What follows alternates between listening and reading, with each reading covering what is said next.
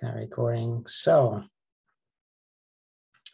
welcome everybody to the JBrowse 2 session. Scott, do you want me to just start with the introduction or?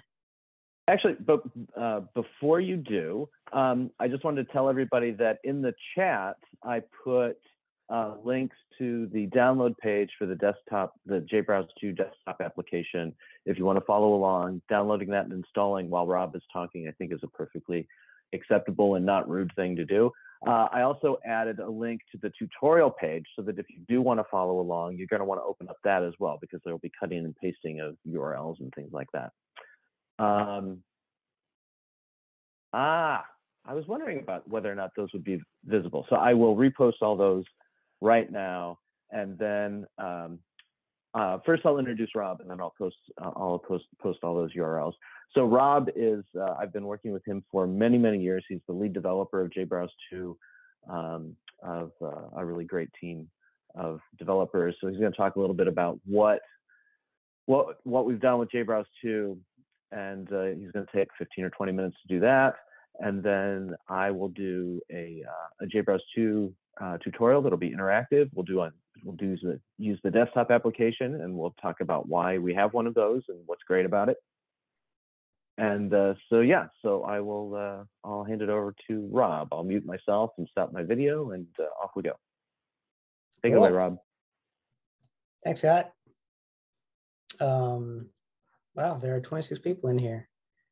Uh, welcome everybody to the JBrowse 2 workshop. Um, going to give you a little introduction about JBrowse 2. I'm Rob Buels, as he said, the development lead of the JBrowse 2 team.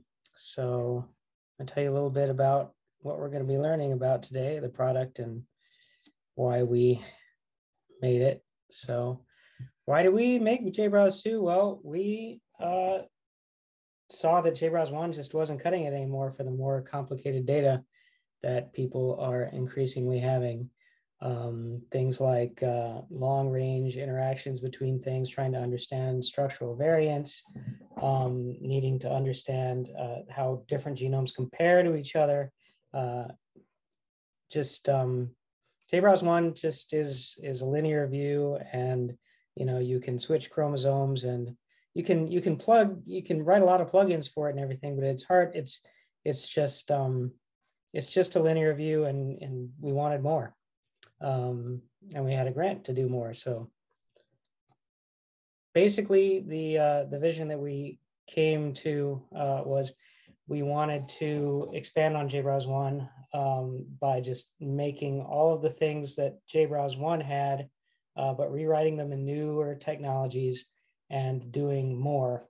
Um, so one of the biggest things was we, we realized that you need to have multiple different views of the same data open at the same time in order to be able to start uh, wrapping your head around some of these more complicated things. Um, and then you can really benefit from, from having multiple views open um, and showing things in, in different contexts.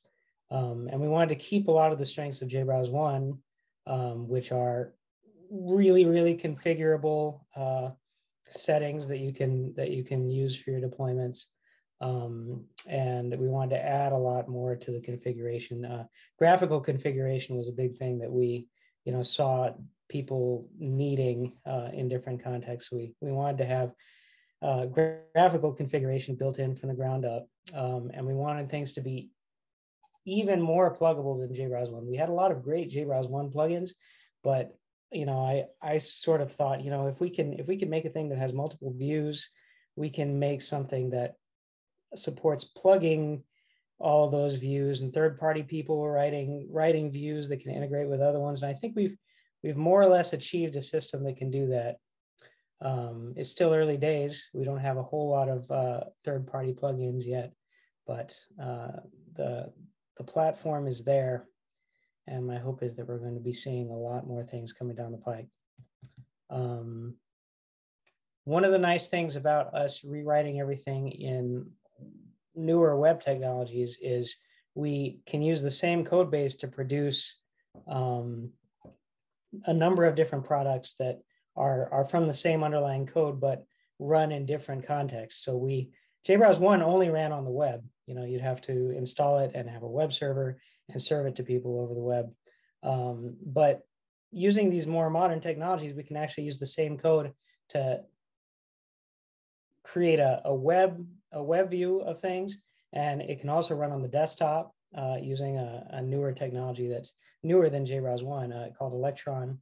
Uh, a lot of things already run on Electron. It's a very mature technology at this point.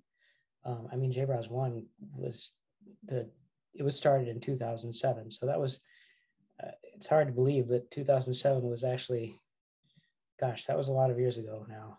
Um, and Scott and I have been working together for a lot of years. Boy, how the years go by. Anyway, uh, we can also produce embedded components that other developers can use, which is a really, really cool thing.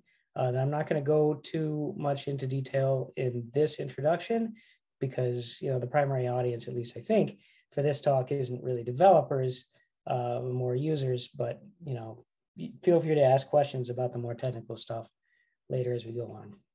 Uh, as I mentioned, there are three main sort of categories of products that JBrowse 2 uh, is producing now. There's the web, uh, the big web JBrowse 2. Uh, there's JBrowse Desktop, which I believe is what we're going to be using today during the tutorial. Um, it's JBrowse Web and JBrowse Desktop, they run from pretty much the same code base. Uh, they're just uh, different packagings of, of the same the same code. Uh, and then the JBrowse embedded products, which allow you to take different JBrowse views or um, other pieces of JBrowse and, and use them in your own apps. Um, there have already been a couple of integrations using those.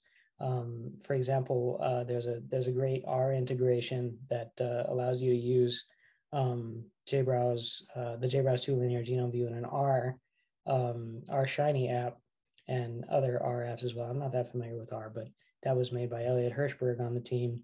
Um, and we also have some pretty cool Python and Jupyter integrations. So you can use a JBrowse 2 linear genome view and soon a circular genome view as well. That's not released yet, but you can use a JBrowse 2 linear genome view in your Jupyter notebooks now, which is pretty cool. At least I think it's pretty cool. So JBrowse 2. This is what it may the main like UI of a JBrowse 2 looks like. There are three main components here. Can people see my mouse cursor? Uh, I'm not really, or do I have to use like a pointer? Maybe I'm pretty sure I can see it. Move it again. Okay. Can you see my mouse cursor? Yes. Yeah. It is pretty tiny though. Uh, it is tiny. Uh, well, I'll try to like move it a lot. Um, so the main JBrowse, uh, this is what the web and the desktop products both look like. They both have this same layout. There's a menu bar at the top for drop-down menus that plugins can add things to if you want. Um, there's the, we call this sort of the drawer on the right, uh, where you have things like the details of what you're looking at, or sometimes configuration pops up here, or um, just other auxiliary things. And then this largest piece of the UI here is what we call uh, the view stack. The team calls it the view stack. It's a stack of multiple views um, that are, uh, you can scroll up and down. You can just have just multiple different views of, of different things. And you can mix and match whatever views make sense uh, for you to be seeing. They're tiled. They don't like sit on top of each other. It's not like a windowing system. They're, they're, it's a stack of views and you can mix and match what views you want depending on what you're doing. So some of the different views that are available in JBrowse 2, I'm just going to go through these very quickly. Um, there's the linear view, which looks a lot like JBrowse 1. Um, there are a lot of different kinds of tracks that are available in the linear view, of course. And of course, plugins can add uh, new tracks uh, and new new display types and menus and everything. Um, here are a few of the different display types uh, or track types that are available. Uh, there's the SV inspector, which is an interesting use case of there are actually two different views encapsulated in another top level view. So this basically is uh, a spreadsheet married to a circular view that lets you open um, VCF files um, or there are, I think it supports some other um, variant call uh, formats as well and let you uh, filter and look at um, breakpoints and, and variants uh, and their um, locations will be shown on the circular uh, thing in the right. And as you filter them, the, the circular view um, filters down as well. So that's the SV inspector, structural variant inspector. Uh, we also have a dot plot view, um, which was made by Colin. It's really, really, I love this view. Um, we have the breakpoint split view that lets you look at two different uh, sides of like a VCF breakpoint and show them uh, their, their genomic context one above the other uh, with uh, connecting lines showing um, where a feature spans this breakpoint. So like here we have a human chromosome one and human chromosome five, and there's breakpoints that connect these two things. And we're trying to connect the um, the alignment reads that go uh, that span these two two sides of the breakpoint. That was made by Colin as well. Uh, we also got Synteny, the, the block-based Synteny uh, that integrates with the dot plot view. I think we'll probably see that later in the demo. Uh, so yeah, this is this is a, a block-based Synteny view, though similar to other Synteny views um, you might have seen. You you scroll one on the bottom, and the the rectangles will or the polygons will move, showing the the relationships between the two different um, syntenic genomes. Um, you can also compare long reads using some of these same views. Uh, we can use, like, for example, you can use the dot plot in a way that will compare uh, a long read to the reference. And you can also compare a long read to the reference with a, a syntenic block kind of view. Um, that, I mean, that's not synteny, obviously, but it's, you know, it's, we kind of call that a synteny view just because that's what it's historically been used for. But, you know, two genomes and polygons that connect them to show the relationships. Uh, and as I said before, JBrowse is extremely customizable. This is kind of the, the slide. There's, there's a lot of text on here, but this is basically the, the different ways that you can customize JBrowse to. Uh, you can, you know, the simplest ways is you can just configure it using the, the graphical user interface, but there's also a command line interface that you can use to, to configure it if you're setting up JBrowse on the web in some kind of build pipeline or command line script or something.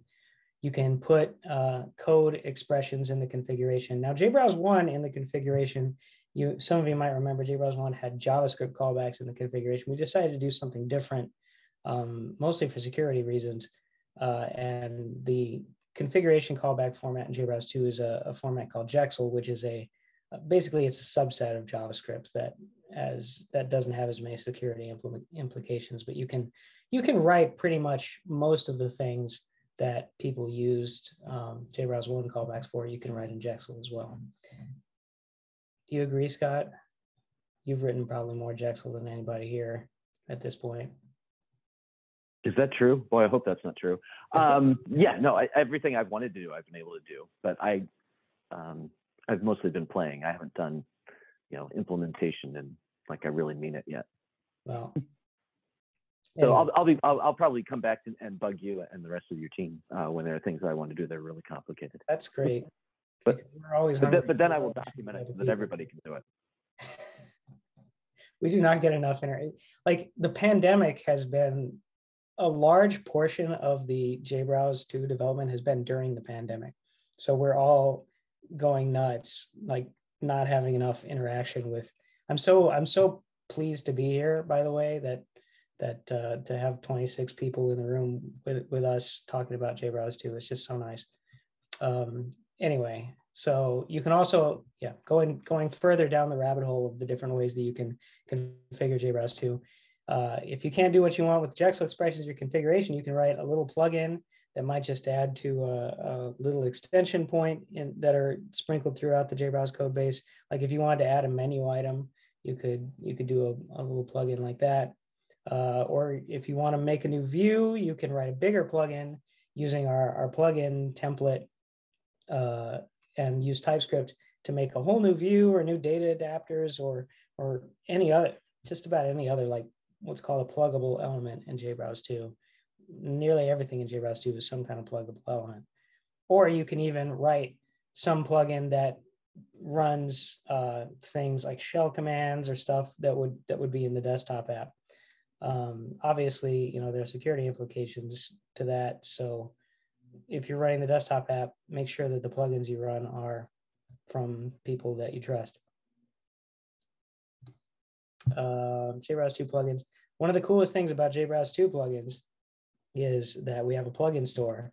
Um, and in the UI, in the JBrowse UI, you can install plugins with just one click. You just hit, you know, it's a it's a widget on the right side, and you can just hit install, and it will install the plugin in your JBrowse and start running it. You know, if you want Colin's multiple sequence alignment view plugin, you just hit install, and suddenly you have available a multiple sequence alignment view. Uh, there are quite a few interesting plugins available in the plugin store. There's a little link in the slide, but you can easily see the plugin store on jbrowse.org as well. Um, and this is what the view on jbrowse.org looks like. I think there are something something like 10 plugins in the plugin store right now, uh, but there's instructions of, of how third-party developers can add their own plugins. Uh, a lot of interesting plugins in there. So in summary, JBrowse 2 a ground up rewrite of JBrowse. Um, it's all new code. Uh, we uh, can run it. It's equally at home on the web, uh, on the desktop, or embedded in other apps. Uh, and you can integrate multiple visualizations in the same uh, view. And you can write your own visualizations that integrate with the, the ones out of the box because it is even more pluggable than JBrowse 1. And that is the end of my talk. Here's the awesome team that has built all of this stuff. Uh, a number of the team members are here. Uh, and we're happy to answer any questions. Um, and thank you all for your time. Great. Thank you, Rob. Um, so if people have questions, you can uh, raise your hand if you know how to do that in uh, Zoom. You can also type things in the um, in the chat box, and we will answer those. Um, I do have in the chat box. Uh, I pasted a few times the the link to the tutorial page and the link to the JBrowse desktop download page. Uh, I'll do that again because we're now up to 42 participants, which is uh, people have been coming in wow. Uh, while Rob was talking. I know it's fantastic. It makes me very happy too. Um, so if anybody has any questions, like I said, you can put them in the in the chat box. I'm going to paste in again the link to the tutorial and the download page. Anybody who wants that. Um, uh, yeah, so so I, I you know JBrowse 2 is is uh, in many ways you know a brand new beast, um, and so I think we will uh, you know uh, Rob, why don't you stop sharing your screen and then I'll I'll uh, I'll start sharing mine and I'll you know we'll see if anybody uh, I don't see any hands up, uh, no message in the chat box, so that's okay. Um, I'm going to share my screen. And I'm going to share my whole screen so hopefully nothing embarrassing will happen whilst I'm doing that. Let me uh, get rid of this thing have turned off my notifications before now, but I will definitely turn them on now. okay. Um, let's see. Okay, back to, there we go. So Safari. Okay. So first of all, um, oh yeah, so somebody did ask, uh, Laura DeBoer asked, uh, um, JBrowse uh, allows for two modes of track navigation. Um, oh, I see. Yeah, there's not a faceted track selector yet for JBrowse 2. Um, yeah, exactly. But like Rob said, it's something we're definitely thinking about. Um, there should not be a login requirement for the tutorial page. Everybody should be able to see it. Um, yeah, and attendees can't unmute uh, because there's a lot of people. Um, Uh, I don't know about the track metadata thing. Rob, do you know uh, if it's possible to load track metadata via a um, a separated value?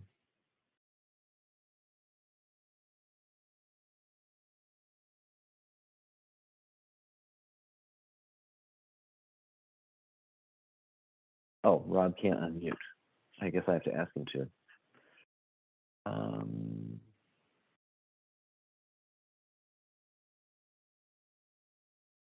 looking for Rob in the list. We're too successful. Okay. Now I'm There we go. uh, answer to that is not directly uh, supporting CSV track metadata right now. Uh, you could, as things stand, you would have to write a script that uses the JBrowse CLI to create all the tracks from your CSV file.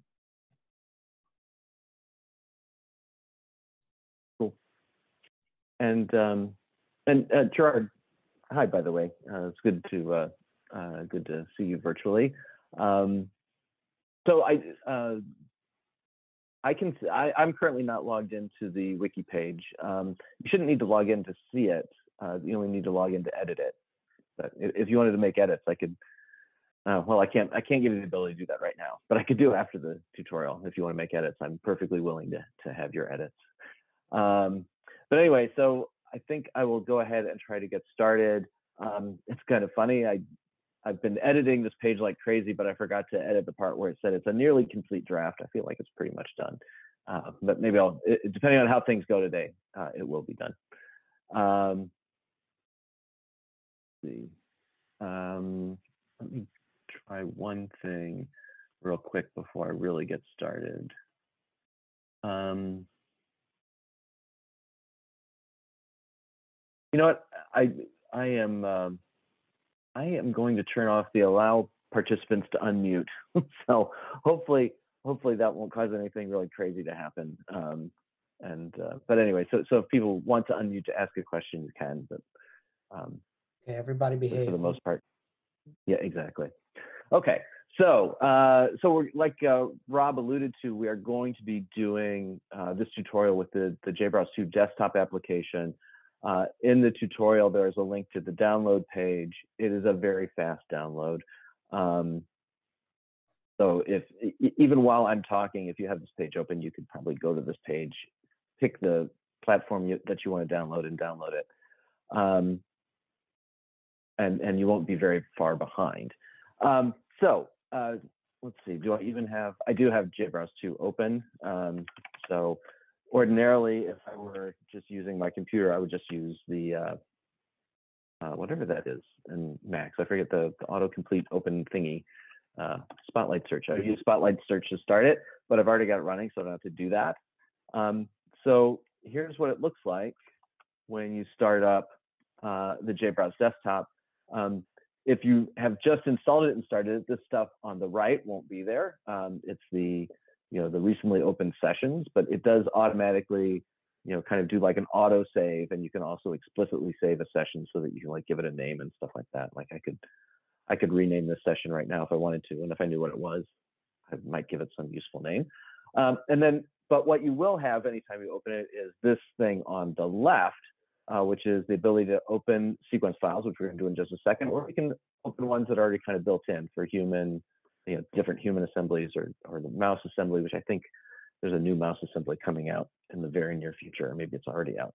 Um, so anyway, so um, I'm going to be bouncing back and forth between you know this this page, this tutorial page, and the JBrowse um, the JBrowse 2 instance. So hopefully you won't get too dizzy from me doing that. But basically, so what we're going to start with, the, the, the end goal of this tutorial is to create a synteny view that shows a synteny between uh, grape genome and peach genome. And so to do that, basically, all of the data we need is on um, is on the web. And uh, so, so we're just going to be copying and pasting URLs a lot. Um, but I'll talk about what those things are. So basically, what we're going to start with is we actually need the, the, the FASTA sequences, the genome sequences of each one of those. So we're going to start with, uh, this is the grape genome. I'm actually going to copy just this first URL um, because you, know, you, can see here, the, the, URLs are all exactly the same, it's just a little bit different um, extension on the end of them. So basically this is a, um, a BG zipped uh, FASTA file, uh, which is a, a, special kind of uh, zip, uh, gzip format. And then uh, and then it's um, no, it's FAI indexed. Uh, so that gives you a .fai file and a .gzi file. So basically, it's it's much more compressed than a regular uh, FASTA. So basically, what I'm going to do is go back to JBrowse 2, and I'm going to do this open sequence thing here. So that gives me this dialog box, and since the grape genome is what I copied, uh, I'm going to type in grape in the assembly. I don't have to give it a display name, Uh, it'll just use grape anywhere. So I'm just going to leave that blank. And then down here uh, is a list of kind of formats that uh, JBrowse 2 will accept. It will accept just vanilla FASTA, but we're not going to use that because you know we've got already compressed data that's ready to be used. So we don't, you know, since we're going to be transferring it over the internet, it makes sense to use something that's compressed. Compressed. Um, and so the one that I use a lot for a lot of very different, uh, you know, a lot of applications is the BG BG Zip FASTA adapter. That's the one I talked about. And we also have the option of either loading them from a local file or uh, from a URL. And interestingly, this is available whether you're using this as a desktop application or as a server application. You know, if it's out on the web, you can still, you know, use local files and they don't get uploaded; they just get used locally. Um, so anyway, so I went ahead and pasted in that URL. Um, okay, and and so that's so that's the URL for the BG zipped FASTA file. And then right here it says in very small print that's probably hard to see over Zoom, but if you're running the application, you'll be able to see it. It says FAI location. So again, I'm going to select the URL and I'm going to paste the same URL in, but I'm just going to type in .fai to I don't have to bounce back and forth between the tutorial and, and here to paste that in. And then I'm going to do the same thing because right underneath it, the, this this is the GZI location, and I'm going to select URL again, and I'm going to paste the URL in there and type GZI. That is the that's the the name of the the, the um those those files. So it's there's a .gz file, a .fai file, and a .gzi file. Now, um, I'm going to hit submit, but before I hit submit, I just want to point out that there is a button here that's uh, add another assembly. Um, I could add the peach assembly here, but uh, I'm not going to for two reasons. One, I want to show you the other way to load it if that's what you want to do. And two, uh, the JBrowse 2 developers thought it would be funny to release a new uh, version of this on Friday that provided this functionality so that I wrote most of the tutorial before this button was here. Uh, so uh, as I guess a form of protest, I'm not going to use this button because it wasn't here two days ago. Okay, so I'm going to hit submit and that should change the view. Now we see this, a fairly blank page, and then there's a, a drop-down menu here that has lots of options in it. Uh, we're not going to mess with any of those yet, but those are the things we're going to need. Instead, um, I'm going to bounce back the tutorial real quick. There's the that's the dialog box that we have, and see there's the picture that I used for this, and that button's not there. Um, so now I do have an edit to do to make um, to uh, to add to um, this tutorial. So I'll, I'll, make a new screenshot of that. Okay, so uh, again, that's one genome loader. We added grape. Now we want to add the peach genome. It's going to look very similar. Uh, and while I'm here, I'm going to go ahead and grab the URL for the peach, you know, the, the gzipped, bgzipped um, peach genome. And this time we're going to use the tools menu and add assembly, you know, open the assembly manager. Okay, so I'm going to come back here up in tools. It says open assembly manager. And now I'm going to add a new assembly and we get a very similar, um, a very similar dialog box. In fact, it is probably in, in the code underneath, it's probably exactly the same dialog box. I'm just going to type peach here because this is a peach and under type I added, I selected BG zip FASTA adapter. So those are the two things I have to do. And then I'm going to do exactly the same thing I did before, putting in the URL for the FASTA, and then again pasting that same URL and adding .fai for the FAI location, and then down here, paste in again exactly the same URL and add .gzi to that. And then I'm going to go ahead and click Create New Assembly, and now in the assembly manager, I have two assemblies, one for grape, one for peach.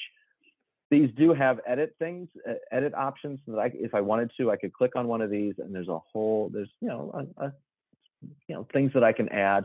For instance, um, if I had cytoband information, uh, JBrowse 2 will display the cytoband information in our displays. Uh, I don't have any for these genomes, so I'm not going to do that. Um, let's see. Oh, I also have, I, don't need it today, but uh, there's also the ability to add a reference name uh, alias file. So say for instance, uh, you use the UCSC genome browser, and they name all their genomes, you know, all their chromosomes that are CHR1, CHR2, but uh, all of your FASTA files or all your GFF files have just one, two, three for the names of the chromosomes.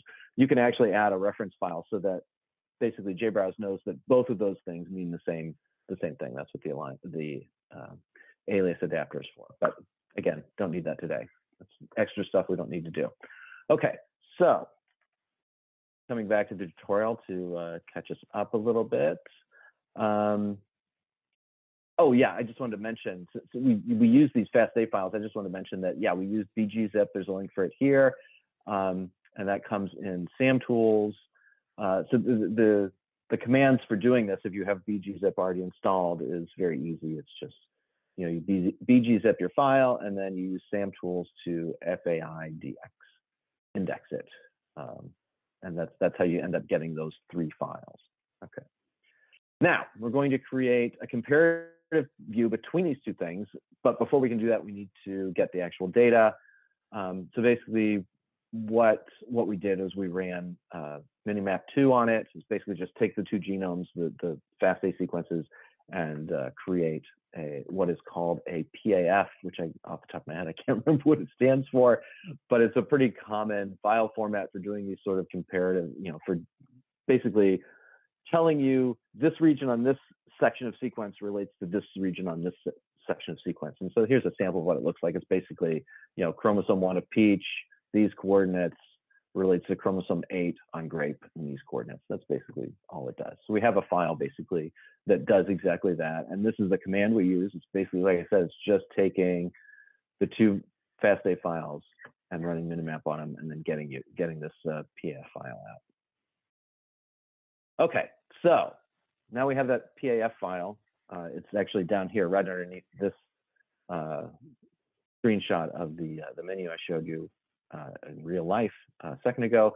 This URL is here that has um, the uh, that PAF file in it. So I'm going to copy that URL so that I have it. And then I'm going to go back and we're going to select a view to launch. So again, we've got this drop-down menu. It's probably pretty small again while you're watching in Zoom, but um, there are a few options. What we're going to select right now is the dot plot view.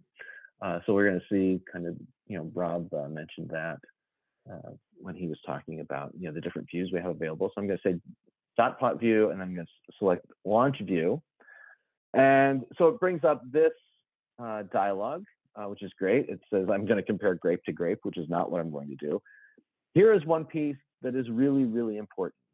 Um, because that PAF file has peach first in the first column is peach and then you know whatever the next you know after peach it says how it's related to grape. We have to put those in in the same order in this dialog box. So i need to change that first where it says grape i need to change that to peach. So it's saying peach versus grape. So peach first then grape. Okay. and then down here it says uh, if you've got a paf file go ahead and enter that. So i'm going to paste that in. I just copied from the tutorial. And then i'm going to click open and it's probably going to take a few seconds. We've got a little loading dialog up here. So basically, it, it drew in the boxes, you know, the chromosome uh, or genome versus genome. It's going to do the loading. Hopefully, it doesn't take too long. Uh, basically, obviously, in order to generate this view, it has to get the entire, uh, that's pretty fast. It has to get the entire file, parse it, and then decide how to draw it. So to me, it feels like that was pretty quick.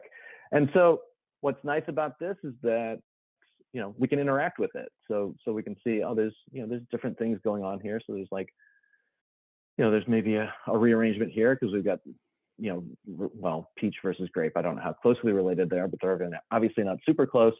So we've got regions here that you know there's stuff going on.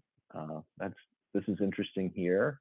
Um, i don't have a spot that i'm going to pick out. I know i did have spots that I made screenshots of, but I actually don't even remember where that is. So I'm just going to pick this region right here. And by doing kind of a click and drag corner to corner to create a box, that will let me, that'll pop in, uh, pop up this menu.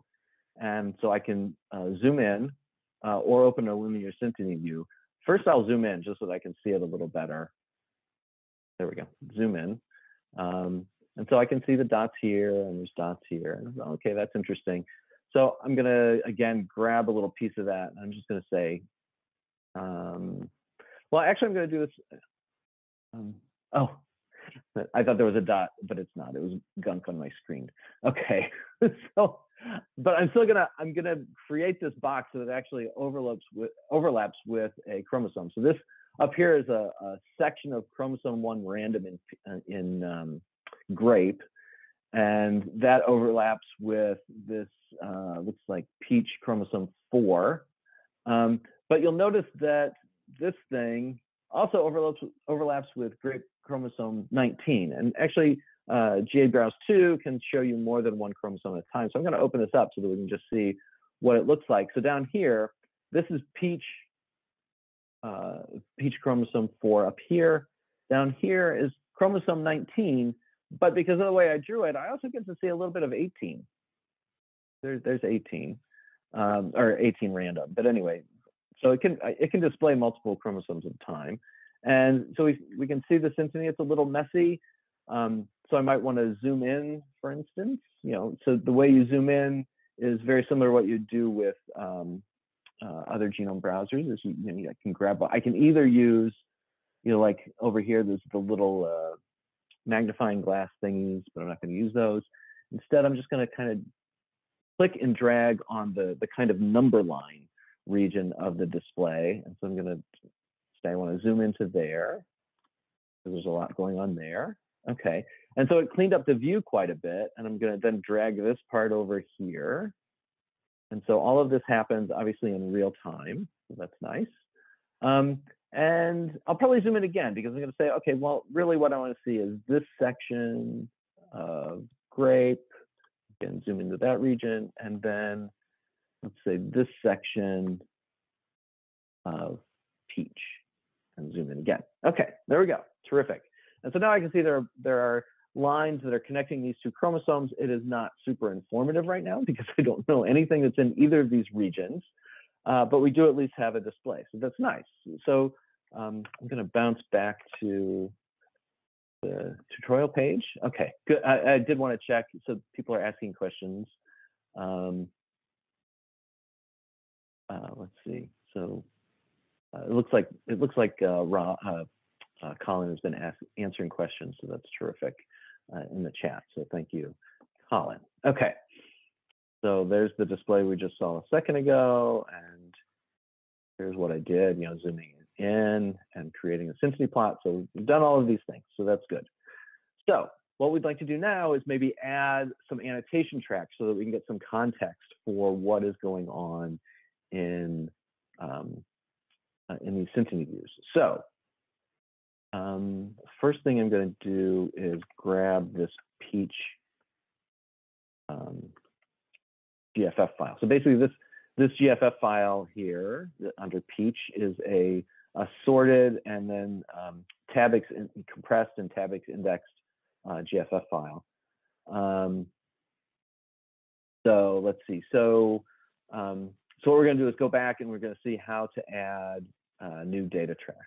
Okay, so I don't let me forget that I got the Peach GFF because I want to make sure I click on the right one. So here, this this PP04, that that's the Peach genome. It's I can't remember what the scientific name is, but the P is definitely Peach. So if I want to add a new track, I can click this button here to open the track selector. So that's great. It adds a track selector. So I could add the reference sequence track, but uh, that won't be very interesting. So instead, I'm going to add a new track. And the way you add the new track is this little menu here that sometimes people call a hamburger menu. Um, I'm going to click on that. And right now, the only option there is to add a track. So I'm going to select add a track. And so the first thing I have to do is add uh, the URL that I just copied. That's the first thing I do. And then uh, because uh, this GFF file, this compressed GFF file has an index. It's an index GFF file. I'm going to go ahead and paste that in there. And I'm pretty sure the extension is TBI, but you know I'm going to go back and make sure that that's really what it is. Yeah, it is. It's .tbi. So I can use that. Your I can use that URL twice just by adding um, .tbi to the end of this one. Okay, and so then I'm going to hit next. And so JBrowse 2 does a really good job when you're adding new data of kind of figuring out what it is you want to add. So it has already selected for me under this adapter type, it has already selected for me GFF3 Tabix adapter. Um, there are quite a few adapters here. So these are the different sites, excuse me, different sorts of uh, data files you can add. Okay, uh, so that's pretty cool. Um, one thing I want to do before I go from here, so, so basically this is all fine. The only thing is that um, the uh, uh, JBrowse 2 will uh, give basically the track uh, a name based on what the file was, and that's not very informative. So I'm just going to change that to peach genes. Okay. And then I'm also going to just double check that it says peach down here because if it said grape here, then I would know that I had done something wrong. So I'm going to go ahead and add that. And oh, actually, sometimes sometimes when you're doing something like this, depending on how zoomed out you are, um, it will say, uh, I'm not going to load this because it'll make the browser too slow. Um, but I'm zoomed in far enough that that didn't happen. So anyway, so that's great. Now I've got genes, terrific. That makes me happy. Um, and we're going to do the same thing now for grape actually, so that we can see uh, the grape genes as well. So I'm going to go ahead and grab that URL. That's you know the same sort of data. It's indexed in compressed GFF. I'm going to open the track selector here. Again, select add track. I'm going to paste in the URL for that. Let me make sure that I actually copied that URL. Yeah. Right, and then I'm going to add .tbi to the end of this one, just like I did before for Peach a second ago. Select next. So again, I'm checking here to make sure that it's got the right assembly. It's great. That's good. It, it get, again guessed correctly that I was using GFF3 tabix. And then I'm going to change this to grape Okay. So you'll notice that, um, uh, there we go. Um, let's see, to make this a little, me a little room to work here, I'm gonna get rid of the dot plot. Okay, so it's, it is a multiple view, um, you know, multiple view stack, but I only really want this one right now. Um, so there we go. So now I've got genes. I can say, okay, this gene, um, right now I can open this up a little bit too, because um, there we go. There's a lot more data down here that we haven't seen. So there we go. So that's, there's uh, terrific. Genes there, genes there, terrific. That's good. Okay. Ah, so there's all the, all of what that looks like. Oh, this is the view. I didn't, like I said, I was zoomed in far enough that that didn't happen. Um, but here's the, the little message it gives you if you're zoomed out really far. Okay. Um, and here's what it looks like when you zoomed in, just like we did. And so again, uh, what I was using all through this, you know, for, for loading both of those gene tracks is uh, index GFF files. If you wanted to do the same thing, it's pretty easy. You need uh, genome tools, um, which you can use to sort the GFF because as we sorted before, it can be indexed. And then you need SAM tools, which does the BGZip and indexing. So basically, these are the commands. You basically run genome tools and sort the GFF, and then you take that GFF file and you BG zip it, and then you run tabix on it, and that gives you the two files that you need. Okay. And you saw that I was navigating. Um, so things that you can do in terms of navigation. So like like I said, you know, zooming in and out. We've already seen that. Uh, well, that was zooming in. I can zoom out, you know, using this thingy here, and it'll re-render. Um, so that's that's good. That's so I can zoom way out if I want to do that. If I keep zooming out, it will probably get to the point here pretty quick. Yeah, there it is, where it says no, I'm not going to show you this because it'll take too long. But I can still force it, and it won't take ridiculously long. It's just JBrowse is trying to help you. Okay, um, but I'm going to go ahead and zoom back into where I was, like that. I think. Okay, terrific. Um, and if I grab anywhere else that is not up here where, where I zoom in, if I grab anywhere else, I can drag it side to side like that. And you know, the, the, you know, the, the pink lines that show where the synteny are, you know, drag along with it. You do the same thing down here, drag it around. That's, that's terrific. Um, then one thing that I want to show you that uh, is also neat is right up here in the upper left-hand corner is this little kind of it looks to me like a really tiny racetrack with a line through it. Basically what that does is it gives me a little mouse over information. It says toggle linked scroll behavior across views. So right now, the linked scrolling is turned off. If I toggle that and turn it back on, or turn it on, excuse me. Now, if I grab a hold of somewhere and drag it, both the top and the bottom views move. move. That's nice. So it's nice that you can turn that on or off because you can either move things independently or not. Okay. Um, oh, and I'll also point out, uh, because this actually tripped me up when I was working on this, is there are also two icons here next to it. Those don't actually do anything yet. Plan development for the future of the things we're going to do with that. Um, okay. Now, this this is a a little kind of sidetrack. Oh, oh, you know, uh, that's actually uh, I just happened to see the the chat uh, because I keep toggling my views, but I see the one uh, Gerard asked about whether or not you can, uh, if you select a gene on the top, will it select the one on the bottom? And I'm pretty sure that doesn't happen yet, but I do think that is something that will come. Um, so I don't think you can do it yet.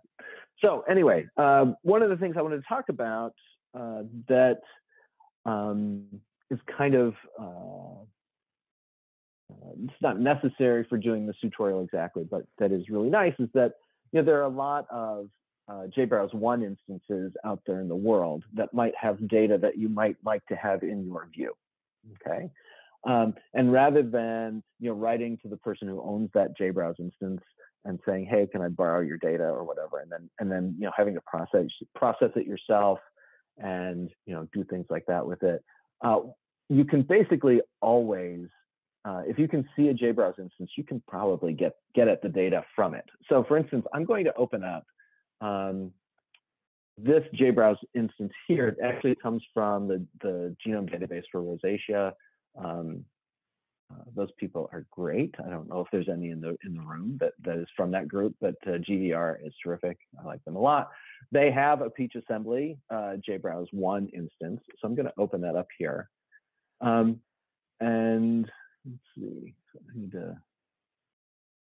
Uh, Zoom has gotten in my way. There we go. Okay, so there it is. So that's this is this is the the JBrowse one instance that I don't have any control over but I can see that they have these SNPs here that I, you know, for whatever reason, I would like to include those in the browser that I'm building. Um, so I'm going to show you how to do this, but I'll also point out that, that if you're doing this on a web server, um, it may not work as easily because you may have to ask uh, the people who own this JBrowse one instance to basically open it up so that you can use it in their web, your web instance. But since we're doing this, doing this on the desktop, we don't have to worry about that. We can just use their data directly. So to use their data, what we can do is, um, you know, we can uh, get this menu for the SNPs. And if I open up the edit config dialog box, I get this really not very attractive JSON display. But down here at the bottom, there are two really useful things that say base URL and URL template. And basically, if I take each one of these in turn, if I take the base URL, copy that, and then take the URL template and append it to the base URL, okay, so if I take those two things, and I'm going to come back to, nope, I'm going to come back to the tutorial. If I take those two things, I get a URL that looks like this one. Now, I will point out that this URL doesn't point to anything real right now because of this this little uh, curly brace ref curly brace. So if I click on it, I'm just going to get a 401, uh, 404, excuse me, file not found. Okay. But that's because JBrowse 1 does some magic. You know, you're replacing this refseq thing with the name of a chromosome. So like I can, it'll replace it with PP04 for, for peach chromosome 4. Um, and this is a real URL. So basically all I did was replace this refseq manually with PP04 just so that I could prove to myself that I've got the right URL. So if I copy this one, okay, I can add a new track for these, this peach data.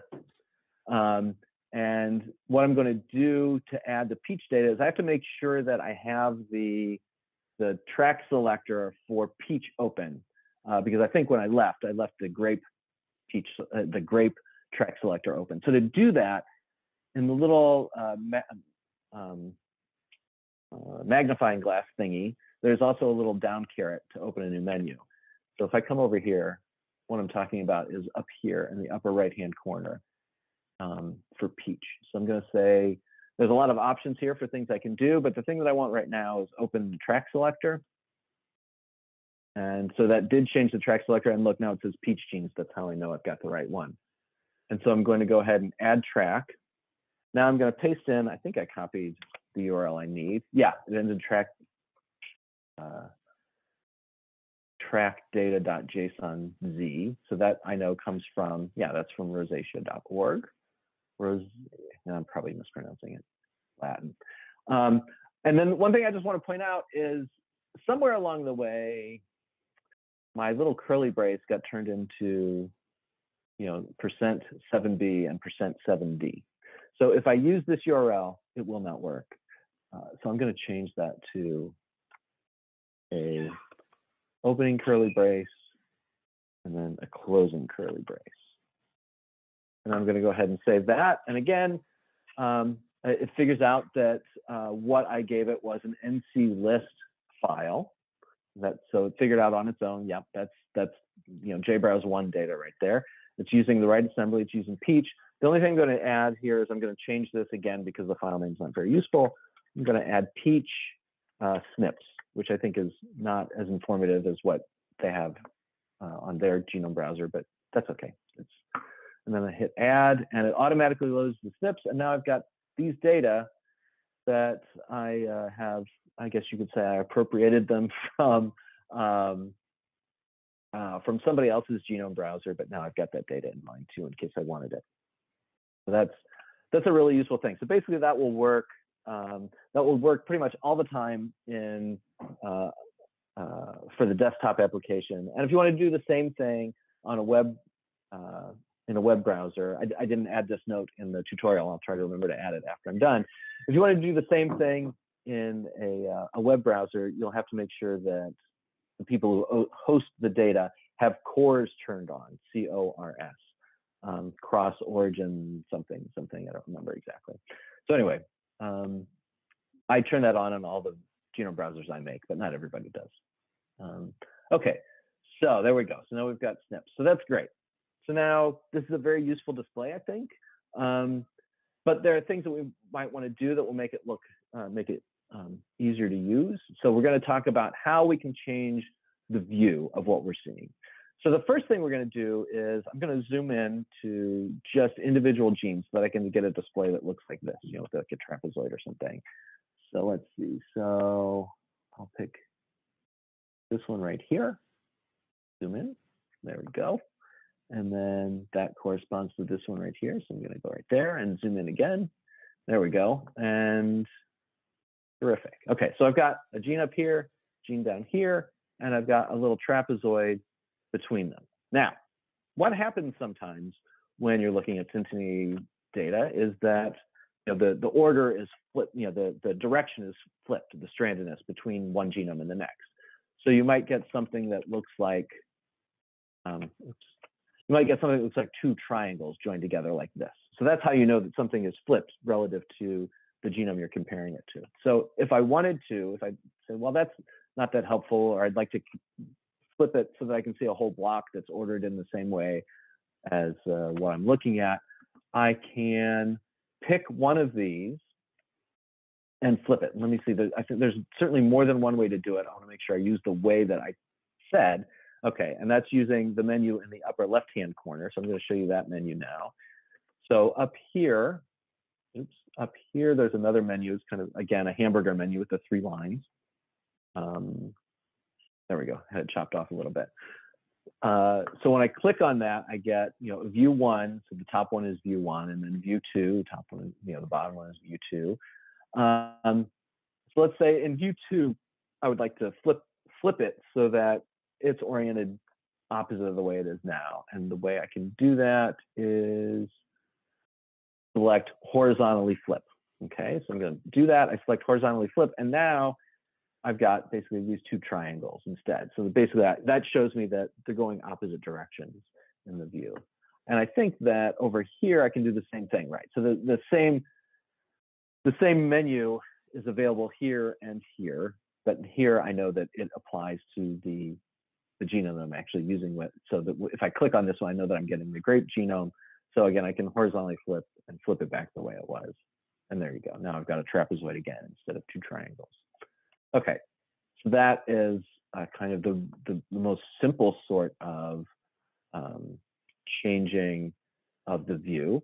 The next one that people frequently ask for is changing the way labels appear for tracks on, on the display. So I'll, I'll show you here why that's important. So, you know, if I come over here, if I, I got this now, I've got this gene is sitting underneath this track label and yeah i can slide it over but maybe i maybe i can't slide it over maybe i don't want to because i've got other stuff on the screen. And down here i can't even read the label of this one that's you know this gene that is next to the one that i'm looking at. Maybe i want to see that label. So there are a couple of ways to um, to deal with that label issue. One is we can say for all of the i'm going to do it over here i like this menu better um, I can change the way the track labels look. So the default is overlapping. That's what we see right now. It overlaps the data. Another option is to select offset. And basically what that does is kind of gives the label its own, you know, its own space vertically. Now, you might ask, okay, this is obviously better for some people. Um, why is the default to do the other thing where it overlaps? Well, these displays can get ridiculously tall. You know, if you have a lot of tracks open, um, unless you've got a huge monitor that you've flipped on its side, which some people do have, um, you know, you, you might run out of vertical space. And so we're setting it to conserve that vertical space. Um, but this is one way to get kind of a more vertically spaced out so that you, you're not overlapping things. And that's great. Um, so that's, that's one option. Uh, another one is say I've only got one track open anyway. So down here in Gene, in, in Grape, excuse me, I only have a Genes track. Um, so I could just turn that label off altogether. So if I come here and say track labels, I can select hidden. So that basically just turns the track labels off. So it disappeared. And because all I've got there is genes anyway, it doesn't matter. Um, uh, it doesn't matter if I hide the labels because obviously those are the genes because there's nothing else there. Okay, back here. Um, all right, so that's what I did. Um, oh, one thing I want to do before I talk more about views is I do want to mention that there's a way to make an SVG export, you know, scalable vector graphics, you know, that you would use in a publication. Um, one thing I want to point out, if I, I, come back here, one thing I want to point out is that at the moment, the only thing I can make an SVG of is the the the genome view. So like, you know, this area, I can't get an SVG of this yet, which is unfortunate. So I can make SGVs, SVGs of each of these uh, genomes separately. I can make a peach one and I can make a grape one, um, but I can't make an SVG of this whole display yet. I think that's something that is coming as well. Um, so if I zoom out a little bit there, now if I make an SVG of this peach section here, we'll see that I'll get you know a couple of genes plus this SNP.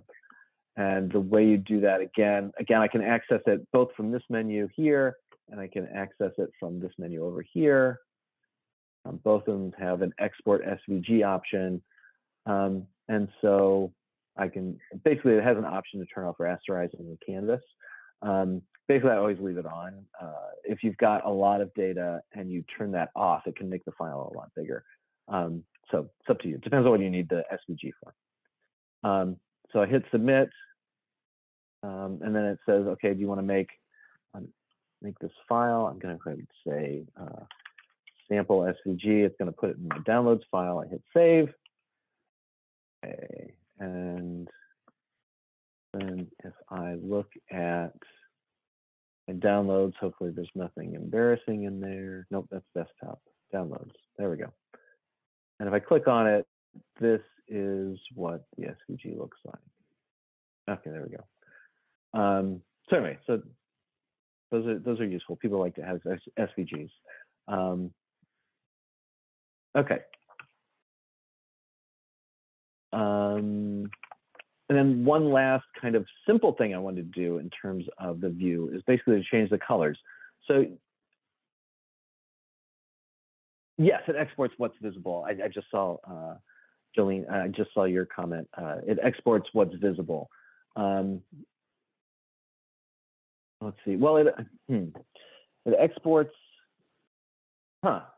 actually, I don't know. Uh, Okay, let, let me try something real quick. Um, so for instance, if I zoom out a little bit and then make this window a little smaller, oops, that's not what I wanted to make smaller. Make this panel a little smaller. Basically what I, I've got more genes down here than I can see. Um, so there's more data down there. And I'm gonna make an SVG of this. It, save that, sure, replace it, need the other one that was there. So, let's see what it looks like. Ah, so it's showing me exactly what's visible. So in order to see the genes that I chopped off down here, I have to come back to, excuse me, I have to come back to JBrowse. Drag this down so that I can see all the genes that are there. And now if I make an SVG of that, um, I'm gonna make it a two here in case I want to compare. Save that.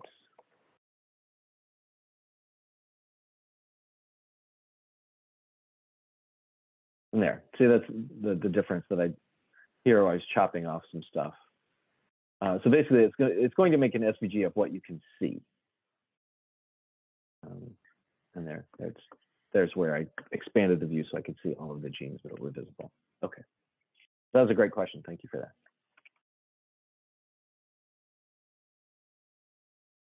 that. Okay. Um, move over there. Um, okay. Anyway. Sorry for the, all the window switching. Okay. The last thing I want to talk about before I get to something slightly more involved is uh, just changing. I'm going to introduce the concept of changing the colors of the features. So you may have noticed that every feature track that I've opened, all the features in it are this lovely color that's kind of like a dark yellow um, color called goldenrod. It is not my favorite color. Uh, that is the default color though for JBrowse 2, and I think it was the default color for JBrowse 1, and before that I think it was the default color for GBrowse. Um, so I've been living with this color for 20 years, and uh, I, I don't like it. So anyway, uh, so what I'd like to do first is show you how we can change these colors, okay? So for, uh, we'll go ahead and pick this track because it's nice and big.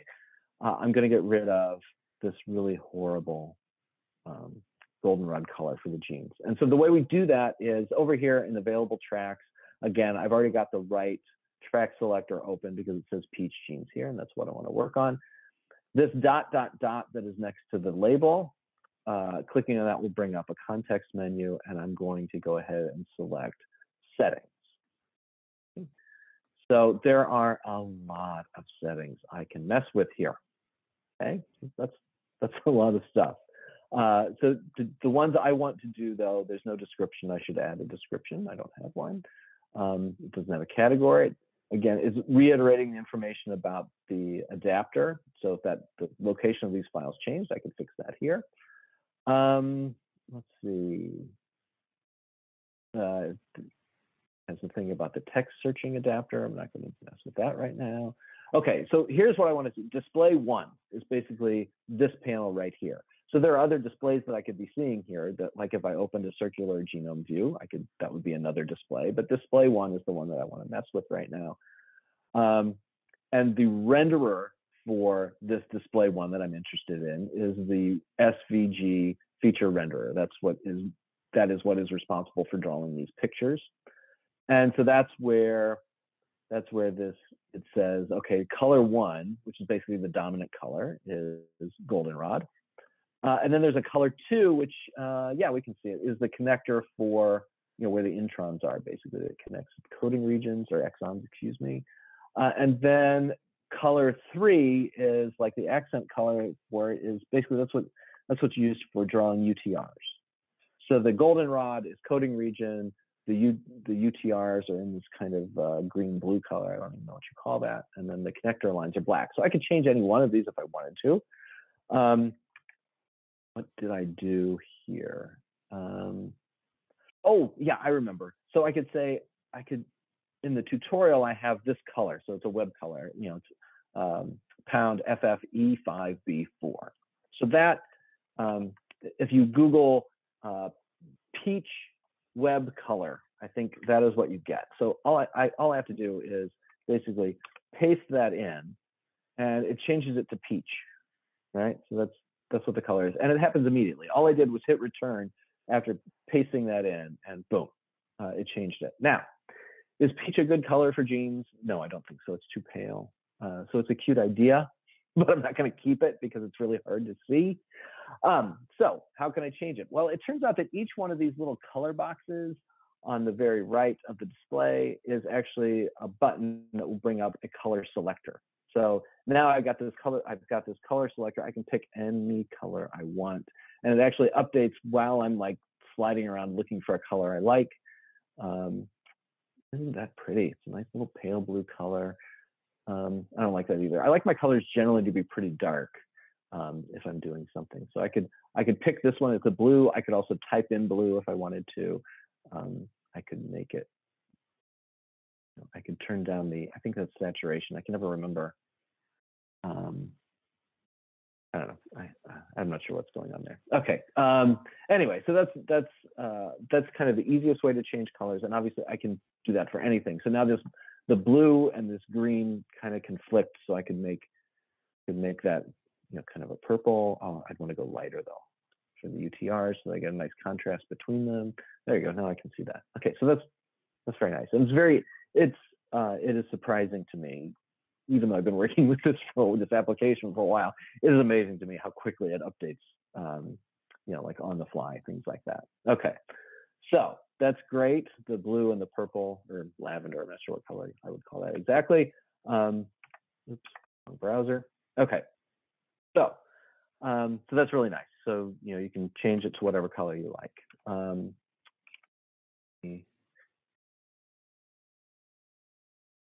Oh yeah, peach puff. I forgot about that color. Thank you. but it's still not a good color for um it is not a good color for genes. And I don't like peach puff much more than I like um goldenrod. Anyway. Um so yeah. So anyway, so yeah, if you happen to have the the whole color space of web safe color names, you can use any one of them. Um so anyway, it's fun. Now, to get to uh, the stuff Rob was talking about, talking about changing things with JEXL, uh, which is the you know JavaScript extension language. Uh, we're going to talk a little bit about how to do that in this context. And again, this works exactly the same uh, in the web server as well. Okay, so the first example I'd like to show you is, since we've been working with the color of the glyph, is I'd like to change the color of the glyph according to which strand it's on, which is a fairly common request from users so that they could easily tell, you know, oh, this is all negative strand, this is all plus strand. And so that's a nice little feature to have. And so there's no kind of built-in way to do that, but we can write a little bit of code that will do exactly what we want to do. So now we're going to, again, be modifying the color one field. So the thing that we just made, that blue color, we can make it, uh, we can instead add a little bit of um, JEXL code. And basically what it, uh, this is, it's very straightforward. What it's doing here is, um, it's basically saying, okay, get me the feature value, you know, for, for the, for each feature, get me the value of the strand, which in GFF is either negative one, one, or I think a dot for, you know, I don't know, um, and so basically it's saying, okay, get me the feature, and if it's if it's positive, if it's one, then make the thing blue, and otherwise make it red. That's what this question mark is. I have to answer a question. Is it blue? Is, is it plus or is it minus? Um, if it's plus, do the first thing. If it's minus, do the, the second thing. Okay, so I'm going to copy that. Um, I don't know if that worked. I'm going to copy it again. Okay. And then I'm going to come back to JBrowse 2. And here, in the color, I can paste that. I'm not going to do it just yet though, because I just want to point out one thing. Uh, I don't think I made a screenshot of this. So when I when I edit the tutorial, yeah, I'm going to have to. I'm going to want a screenshot of this as well. Is one thing that is, you know, depending on how good your vision is, you might not see that there's a little circle inside this little purple rectangle here, um, and this circle basically is a, a checkbox to say I want this now to be supplied, you know, the value to be su- supplied by a JEXL callback. So that's why it says convert to callback when I mouse over it. I'm going to check that off right now. Um, and so basically, when I check it off, it immediately changes the contents from what it was before to basically a quoted thing of what it was before. So it says, okay, just give me. So basically, it's keeping it the same as what it was, but I don't want this contents right here. So I'm just gonna I'm gonna get rid of that. Okay. Uh, and me, momentarily gives me an error because you know it can't be empty. Uh, and I'm just going to paste in the little uh, the little piece of code I copied, and now I've got different colors according to, to what strand it's on. And we can so I picked strand because it's easy and there's not a lot of information in each one of these uh, each each one of these features. So for instance, to to show you what I mean in terms of there not being a lot of information, I'll click on it and I can see I can basically get a length. Um, uh, and and that is really pretty much it. I mean, we get we have an identifier. There's not much there that I can use to kind of write fun code on. Um, so, so basically, we've got. Uh, but I picked strand because it's easy. But if these features had scores, we could change it. You know, you could write a little JEXL function that would make it kind of varying shades of blue, depending on what the score was. For instance, I've done that in a lot of web browsers in JBrowse 1. I haven't done it in JBrowse 2 yet, but I did that a lot in JBrowse 1. So there's a lot of things you can do. Basically, any sort of data that is available in the GFF, you could say, give me you know this piece of data and then do something based on what it looks like. You could change the height, for instance, of the the glyph. I've done that in JBrowse 1 this too. And, I mean in JBrowse 1 as well. Um, so there's uh, there are a lot of things you can do. Uh, I just picked Strand because it was easy and available. Okay, so that's that's pretty cool. And again, I could put. Um, let me close this thing so I can that so I can get this back. So a little bit of I pasted in. Here it is. So uh, you know, so I use blue and red because those are easy and short, but obviously it could be anything. I could put in a, a hex, you know, uh, the hex colors there, um, or I could write a more complicated fun function that would calculate different hex colors, like I alluded to before. But anyway, that is pretty neat. Okay. Bounce back. Um, um, is it possible to change the color uh, of the background canvas? I don't think so. Um, oh, no, themes. I think theming is available already. Uh, one of the developers can answer that. I don't know off the top of my head if theming is available yet. I know it's something we've talked about, but I don't know if it's available there yet. Okay. Um, okay, so that's pretty neat. Another thing we can do is uh, that is another example of, uh, that we can do is changing the the text like for a label or, or that sort of thing. So you'll, you notice that by default, when I mouse over these things, it gives me a little pop-up that is really tiny. Um, it is very difficult for me to see. It's basically the name of the feature that is in that little gray pop-up uh, label. So what I'd like to do is do an example of how to change that pop-up to maybe make it something useful. Um, oh, I don't think this is going to work. All right, we'll go ahead and try it. But I think um, I made a change to this tutorial and I don't think it's going to work the way I wrote it because I changed something. Okay, let's see what happens. All right, so basically what I'd like to say is for each one of these, each one of these features, it actually has, so let me click on another one. So here's one. Um, so for each one of the transcripts in this feature, there is an attribute called longest. So it's basically, there's four transcripts here. One of these has longest equal to zero, and the rest of, I mean, one of these has longest equal to one, and the rest of them have longest equal to zero. So you know which transcript is the longest.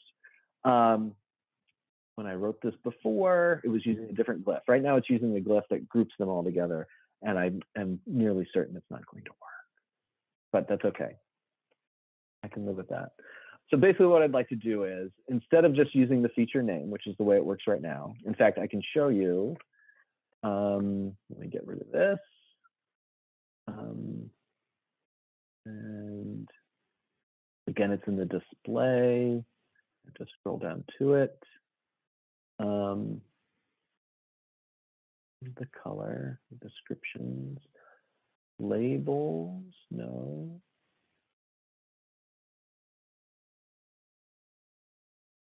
Um, shoot. Oh, does it even have, this is what I get for changing tutorials like literally, you know, less than 24 hours before we actually did it. Um,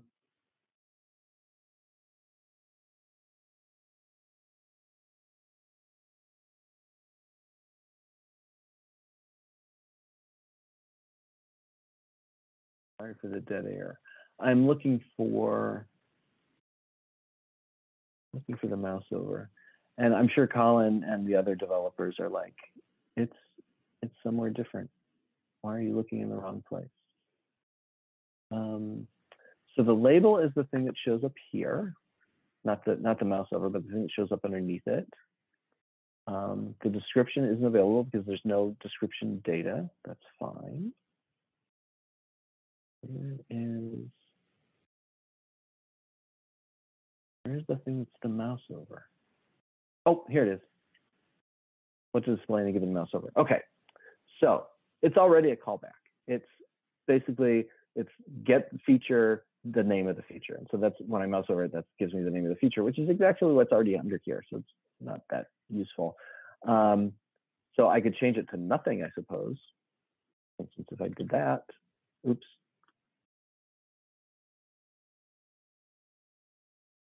Um, yeah, now there's no mouse over. Okay, so that's nice because you know maybe it's not that interesting. You know, it's not providing any extra information. But what I'd like to do is try giving, doing this. But again, I'm telling you, it's not going to work. Um, um, okay. Um. So if I get the feature, so basically what I do is, in addition to the feature name, which was already what was there. I'm going to add to it, which in JavaScript, add, you know, the plus sign is actually concatenation, so it will push them together, not doing any math. Um, I want to get the, the value of, you know, whether or not a given transcript has the longest set to one or set to zero. So I'm basically just doing math and saying, again, is it positive or is it zero? And if it is positive, I want to change the label to add to it space longest transcript Otherwise, I just want there to be nothing there. Okay, now I'm going to go ahead and copy this and I'm going to paste it into that field that I just made empty, but just like that. Um, and if it, if it had a syntax error, it would turn pink. So the fact that it didn't turn pink is good. So if I, yeah, so if I do that, see, it, that tells me, oh, you, you made a mistake in the writing a code, but there we go. Um, so I didn't make a mistake writing the code, but I'm willing to bet yeah, see, it doesn't work because when I did this before, the individual transcripts were drawing, you know, they were drawing individually. Now they're drawing kind of as as a group. Um, I would have to change this display to do that.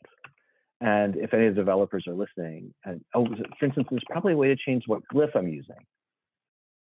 Um, I wonder. Uh, because I'll tell you, when I did this before, I did it actually using um, the NCList data instead of the index GFF data. But at a developer whose name will not be mentioned suggested that instead I use index GFF, and uh, that broke this very last step in the tutorial because what fun would the tutorial be if it wasn't um,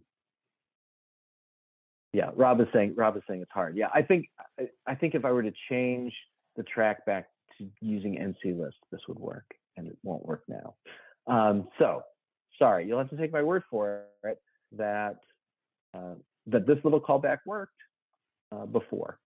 Um, see, what time is it? It is 10 to 3. I, I, forget how long I'm supposed to go. I know that I have time. And so if you guys wanted to sit and watch me work through getting it back to the way it was before, I, I could show you. Um, but uh, I'm not going to do that just yet. Uh, so basically, I just want to mention, basically, this, like I said, this literally was the last step in this tutorial. Uh, it's the first time I've given this one. Um, I will, hopefully, if it's still recording and I have something useful after this is over, I'm going to hopefully edit it into something that is uh, watchable, maybe put it on YouTube.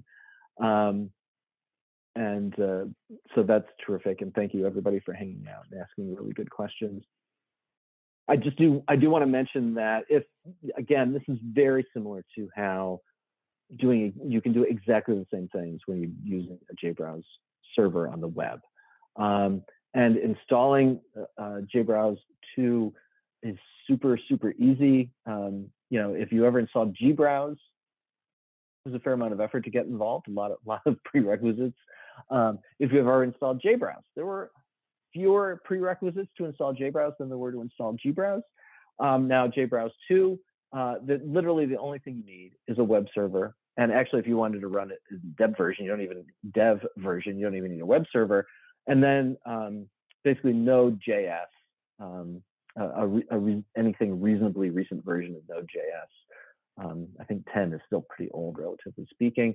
Um, and that's that is literally all you need. And then you might want to get some supplementary tools for you know like you know like genome tools and SAM tools, the things that I mentioned for you know manipulating the data before you put it into JBrowse. But for actually running JBrowse, you don't need much of anything. Um, also, new with JBrowse 2 that we didn't really talk much about is it has an admin server that you can turn on that you can use like while you're setting up your JBrowse server instance. And the URI, uh, the, the UI for that, the user interface for that admin server is literally exactly the same as you know the the the, the UI you know that, that has the, you know all of this stuff you know the, the feature track settings. It has exactly the same user interface you know so you can add reference sequences exactly the same way or nearly exactly it's, it's you can figure it out um, and you can add tracks in exactly the same way, and you can modify the content of the tracks exactly the same way. So it's actually it's uh, it's really uh, really nice for doing that sort of thing. Um, let's see. Oh yeah, and then I got a question from Laura, which is a really good one. That you know in JBrowse one you were able to I, I could write a URL that would precisely take me to an exact view in JBrowse one and I could do things in that URL like, you know, basically anything. You know, I could turn off track labels. I could uh, turn off the overview uh, in the URL. I, all of those things. Um, yeah, there's really not a way to do that in JBrowse 2 uh, because basically the problem is, is that the sessions are so much more complex that it's really kind of uh, essentially impossible to encapsulate all of that information. Um, I think I think the developers are working on something, yeah, that's going to come soon that will basically reproduce that functionality in a way that um, that we'll find useful. That's actually one of the things that I'm waiting for. Uh, I'm, I'm, a developer for Wormbase and the Alliance of Genome Resources, and um, I'm, I'm actually kind of waiting for the same thing until I implement it for for those applications, you know, for those websites. So, so like Colin said, hopefully that's coming soon. But right now, yeah, you can't do it. Um, okay. Oh, look at that. So there's art, there is there's development going along along the way. It's not it's not in production yet, but there are things there are things that at least get you close to the same sort of functionality. So that's good. Thank you, Colin, for pointing that out. Okay. Um, let's see. And another question from Laura: uh, Is there a way to do in-session translation? Oh, um, I don't think so. Uh, I don't know. Let me look at. Okay, let's let's look at something. So, so if I click on this, it gives me uh, it gives me the sequence, and that's okay. So that's the sequence of the mRNA. Um, if I look at the sub features down here, let's see there's pieces of CDS. What would be really great doesn't exist yet, I don't think. But what would be really great is if there were, uh, you probably could do this with a plugin pretty easily that would take these pieces of CDS, plug them together, you know, glue them together, and then do a translation. And so I don't think that exists there, yet. Uh, look, look, wait, stop, Scott, scroll down. Yeah, Rob, Rob, Rob, what? Scroll down a little bit. Okay. Oh, scroll down. No, just yeah, see, you see CDS. Farther? go to the top of the CDS sequence there. Oh my god. Yeah. brilliant. I've never done that before, so that's good. That's fantastic. I was thinking somebody was going to throw a plug in, but you guys already thought of it. That's terrific. Well, Colin. Thank you, Rob. it. Well, good job, Colin. Then, yeah. So that's pretty cool. And then you can copy it. So you can copy it as HTML, so you can get the nice pink highlighting too, if you really wanted to. Cool. Um, oh, and so CDS was the default thing. I didn't even notice that. I think that's what was turned on when I looked at it, right? Yeah. That's pretty cool because I could switch it to cDNA. Ah, it shows me the all the uh, oh that shows me the U, UTR. So it's the light. Uh, I don't know what color that is. Cyan. I don't know. Um, is UTR. Um, if I do the gene with introns, oh my gosh, you guys, I uh, this is exciting. I haven't seen this yet. so because now I can say because this is another thing that I frequently have gotten requests for from users is you know show me a way to get something with stuff upstream and downstream. So here it is. Here's the whole gene. I've got upstream of the start of the transcript. Then here's the UTR. Then here's the first um, uh, first section of the CDS, and then no highlighting is UTR. Oh my gosh, you guys, that's terrific. Okay, great. That's pretty neat. Thank you, Rob. I'm glad you were here to, to point that out.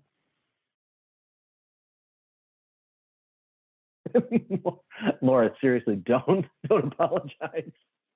Um, it is uh, it, it's I'm glad you asked actually because now I know. That's great. I'll keep, Okay, keep asking questions, um, Laura. We like it a lot. Yeah, no kidding. Yeah, don't we apologize. Are starved for like interaction great. with users. Yeah. Okay. Um, let's see. Uh, so yeah, so uh, I have to rework this tutorial this tutorial to make this last very last section work. I'll have to think about it a little bit. Um, maybe I'll maybe I'll add a section where I add a different sort of gene track. But I don't I don't really want to I don't really want to subject anybody to watching me do that because I'll make mistakes while I'm doing it and that's painful. Uh, but trust me when I say this functionality used to exor- used to exist uh, when I originally wrote this tutorial, and it's just because I changed the type of data that I was using that broke it. So I, I'm I'm gonna I'm gonna fix this so that I can get it back because I, I like it. Um, because I because I do want you know this tutorial is uh, one of the things I really like about it is introducing functionality like this where you can actually do useful things that will you know either for you or for your users you know to show them cool functionality. Okay. Um, oh yeah, so so migrating JBrowse one to JBrowse two. Um, yeah, I have worked a little bit on that. Uh, basically, so so I'll tell you basically what I've done. i- So so at Wormbase, I'm a developer for Wormbase, and our JBrowse instance has uh, literally thousands of tracks. Um, most of them are NCList, which is you know like I said, it's kind of the default uh, format for uh, JBrowse one, you know, discrete annotation data, you know, like for genes or SNPs or whatever, you know, something that you draw a rectangle for, as opposed to things like, you know, bigwigs you use to draw plots. Um, I have been working on a script, although I haven't touched it in a few months because I've been distracted by doing other things, uh, that basically would take a JBrowse one configuration file and extract kind of the, the bare bones of what you would need to convert it into a JBrowse two configuration file. Um, and so that's uh, that's something I've been working on. Oh yeah, maybe there. Let's see if I had. Uh, I wish I'd have thought of that, Rob, uh, because you can in JBrowse two. In JBrowse two, you have the ability to um, open a connection. Yeah, and so so the sort of connection you can you can add, you can open a UCSC track hub. Uh, I wish I'd have thought of that because I would have added this to this tutorial. Why don't we try opening the, the GDR JBrowse and see if it works? Let's do some live de- Uh, live demo experimentation. Yeah, no kidding. Um, I don't. I, where do I find the URL for it? Do you have it? Are you going to post it in the chat? That would be awesome. It's just gonna be in like the base URL of one of those, uh, you, you had the, the NCList URL. I bet if you just chop a couple of path elements off of it. Oh, okay, okay. So yeah, let's see. Let me scroll back up. Can open the G. Oh, GDR. That's what you said. Yeah, GDR. Gotcha. Yeah. Yeah. Okay. So I'm gonna I'm gonna grab this URL and let's see. I bet if I take just that part and now if I, do I make it track list like that? Uh, Oh, but this is it. I'm, I have to go back. yeah, Hold you need to do JBrowse one data. There you go. JBrowse one. Okay. Yeah, and just the data directory, And then not the tracklist.json. I think just the data directory. really it, I think it's that. say that again. Try that. Just this? Yeah. And then uh, Uh, there was a problem. Oh, the problem is that I don't know what I'm doing. Okay, let me try again. assembly name. Browse one, next. Assembly name. Oh. Okay, let me put this here first.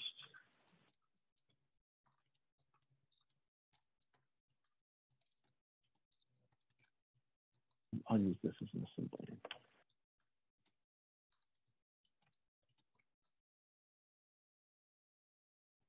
I don't think that'll work.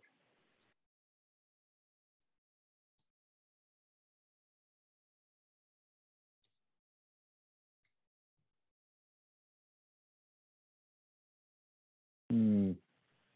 Yeah, I don't know what I'm doing.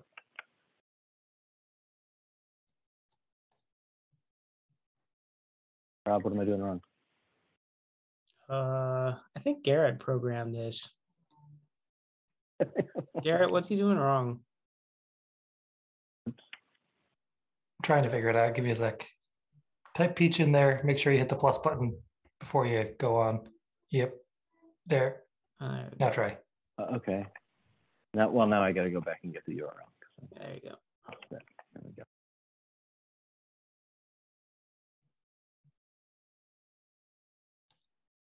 Why isn't it working? It's a different error this time, though.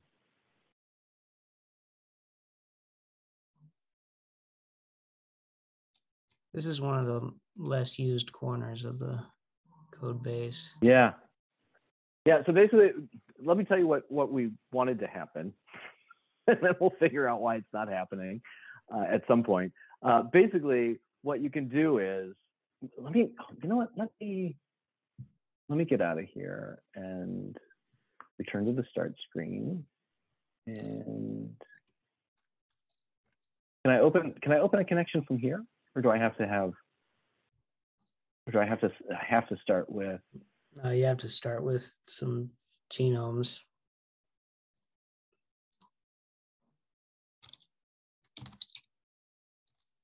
Hmm.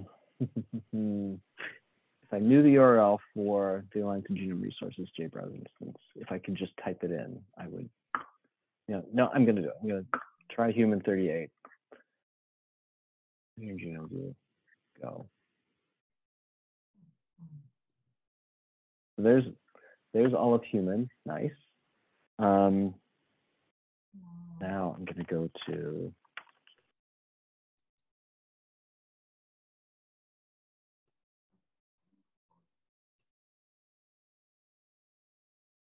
uh, pick a nice human gene.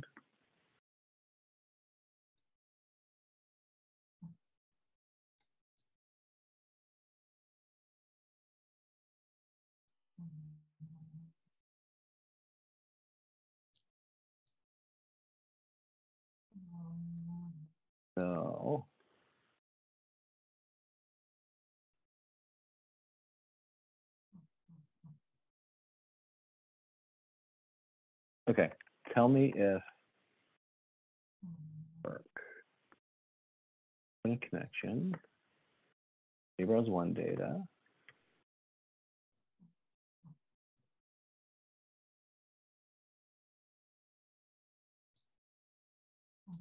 That Okay, assembly in name has to, that assembly name Huh? has to match. That assembly name that oh, you put in has has to. to match. Oh, that's why it failed before then. That's why Oh. Okay, so it has to be like H, HG38. Yeah. Uh-huh. Okay. Now, in the JBrowse URL, I have this. This is a part a get URL that says question mark data equals data, you know, Homo sapiens. Um, does it have to be a real URL or can it be a get URL like this? It needs to be a real URL. So just like change it to slash data slash homo sapiens. Yep.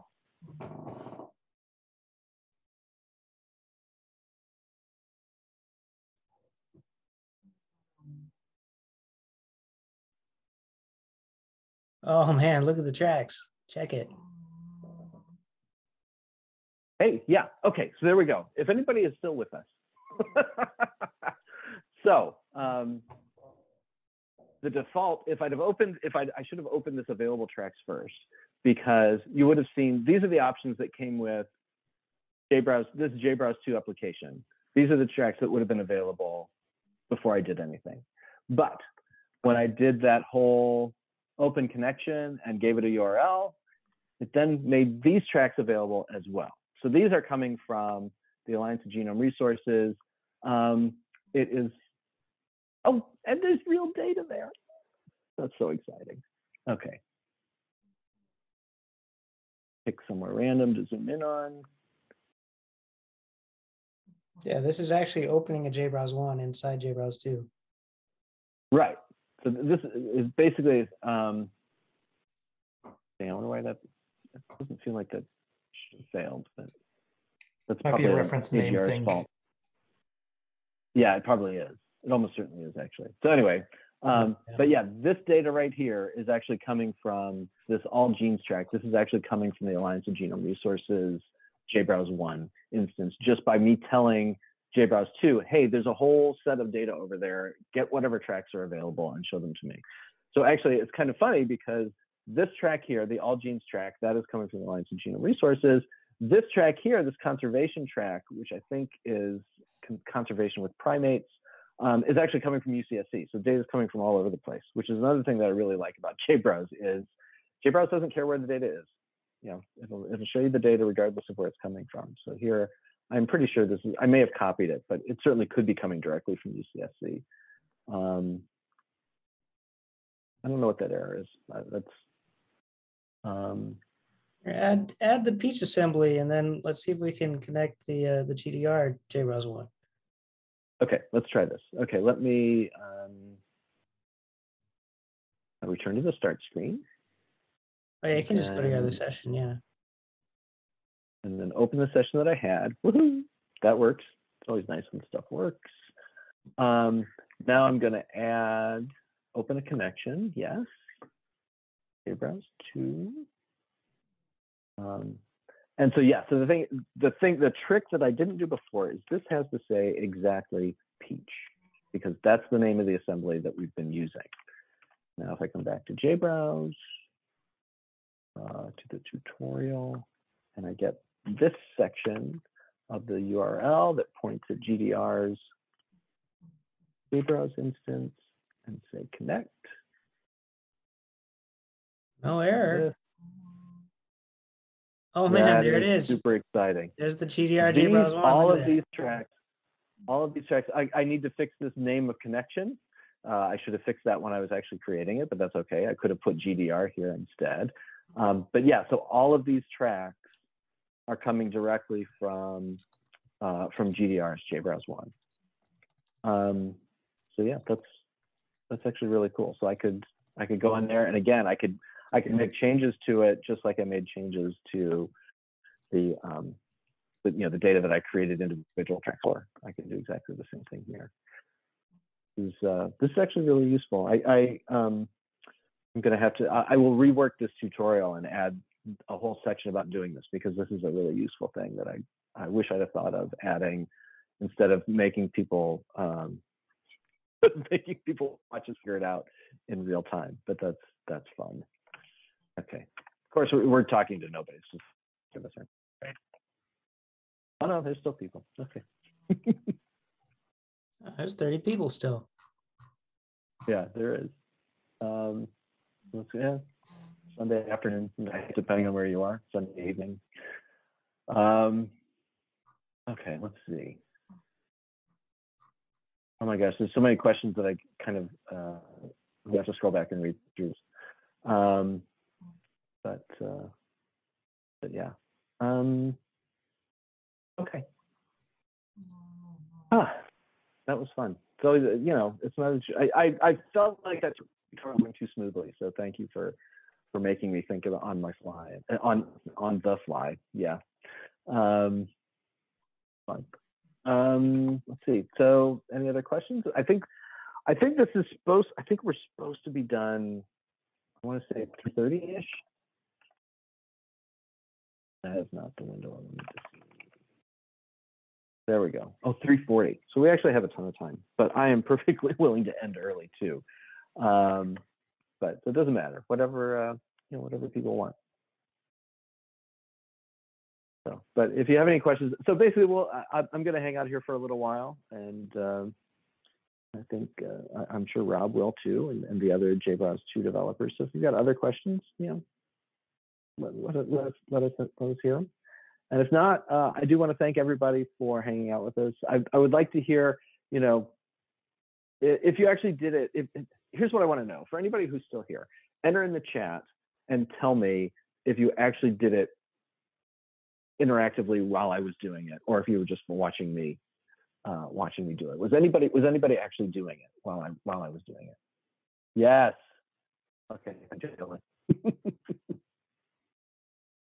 so that's good. That's success. At least one person did it. So that's good. Oh yay. All right, great. Thank you. Thank you all. I, I'm I'm really uh, I'm really glad that that helped that helped people out. So uh, things that I could point out. Um, JBrowse, I should have put a link to this in the either uh, we have a um, a Gitter channel that we pay attention to. Um, hopefully nobody posts. I mean, it's public, so people shouldn't be posting embarrassing things right now. Um, but we do have a Gitter channel that we all pay attention to. Is uh, gmod slash JBrowse two. Um, Gitter channels for JBrowse Apollo as well that we pay attention to.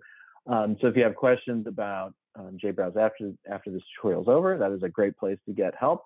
Um, there is also a mailing list that is you know SourceForge based. It is very old, but we still pay attention to that.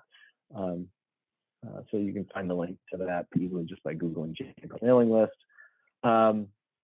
And of course, Twitter. I pay attention to Twitter. So if you have questions about JBrowse, you can also put them in Twitter, and I'll pay. I'll, I'll see that as well.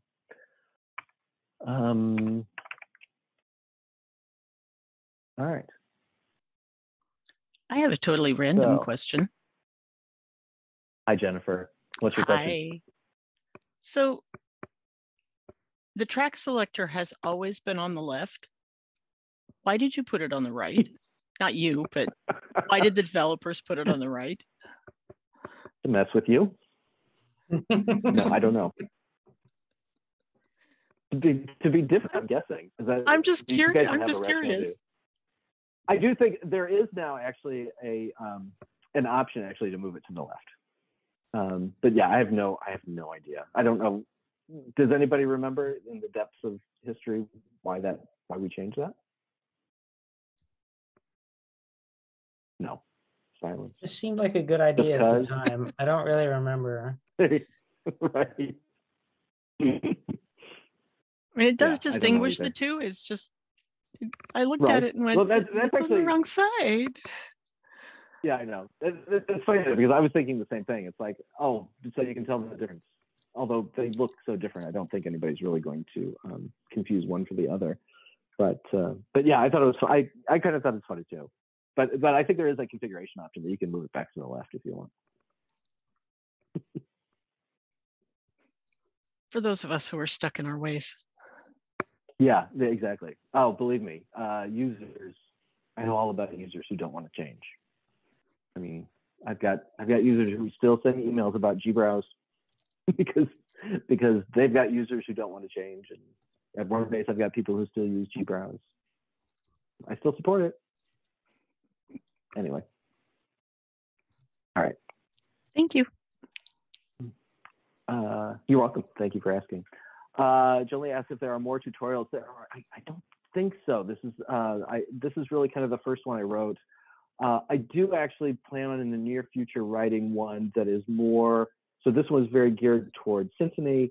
I think I'm going to write one that is much closer to, that is going to focus more on doing uh, breakpoint views, you know, uh, structural variation. Are there full? there, oh, you know what? I, um, Rob is right. There, there are some tutorials on uh, jbrowse.org. Um, I'm thinking about what I have to do. The, the next thing I have to do is I want to write one that basically uses um, uh, the, the embedded view that, that uh, Rob talked about that you can you know you embed it in Jupyter so that you could do like make a Jupyter workbook and and do some Python and you know use an embedded view. You know, so I, I plan on doing something like that. So yeah, and and the user guide is pretty well. I, I haven't been very involved in writing that, but uh, there's a lot of information in the user guide and there's a lot of examples and things. So uh, those don't constitute full tutorials, but if you're you know looking for how to do X, you frequently find it uh, in documentation. So that's that exists.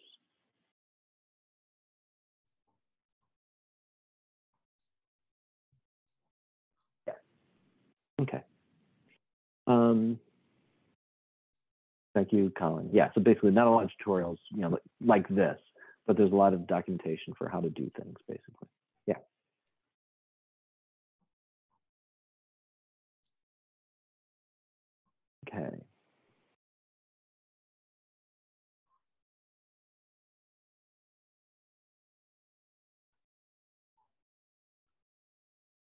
All right. I'm gonna I'm gonna mute and take a big drink of water, but I'm still here. So if you have more questions, please uh, chat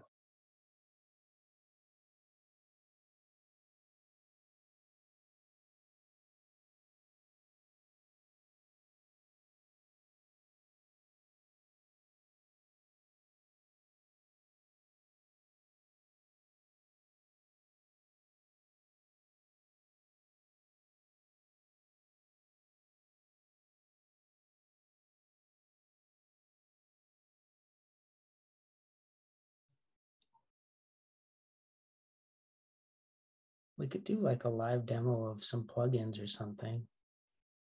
There are lots of interesting things in the plugin store.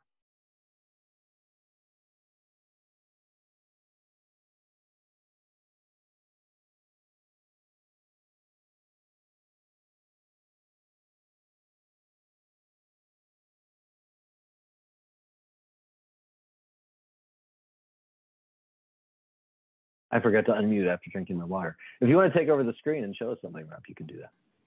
Oh, not me. I would volunteer one of the dev team to demo a plugin that they made. so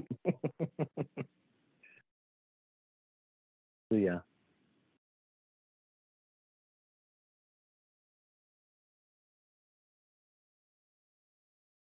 Anybody? Colin, got anything cool?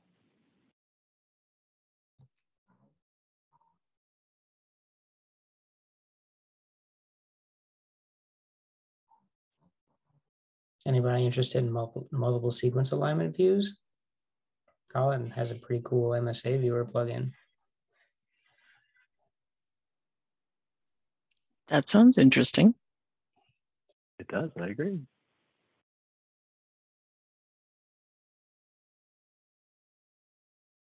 I'm not qualified to demo it though. Looks like Colin dropped off. Oh, we lost him.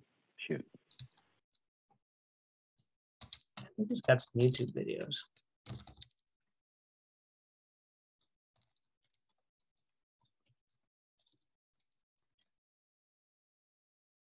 Yeah, here we go.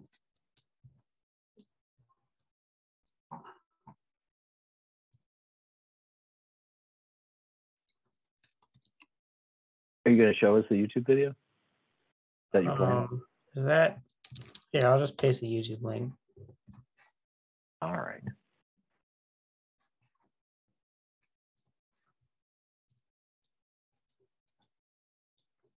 Yeah, you can have multiple sequence alignments in JBrowse too also. If you install that plugin. Then there's like ideogram plugin. Has an ideogram view.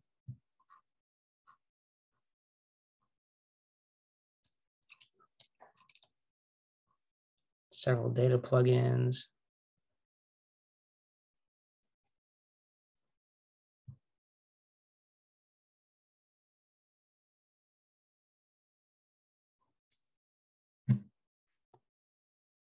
Oh yeah, I remember this. This is uh, well, if this is this is really a thing that Ian wrote. Uh, that turned was into a Ian's plugin, A browser. I think not he's got a demonstration of it being a plugin though. Oh, okay. JBrowse one though. No, no, not. Okay, Can you hear the audio? I cannot. I can't hear it either. Well, there's an example of how a plugin can add a view. Oh yeah, see there's there's Ian's Zabrowse thing running inside a JBrowse plugin. I forgot that it had uh, like a, a tree on the side of it. I forgot that was kind of built Mhm. in. Cool.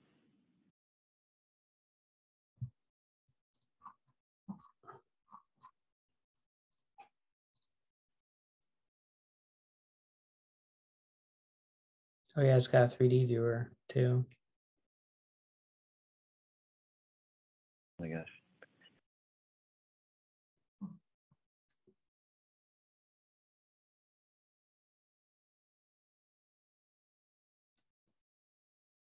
Cool.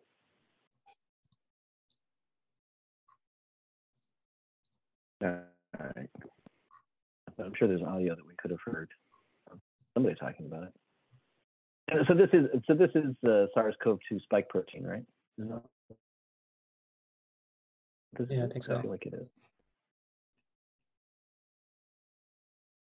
Neato.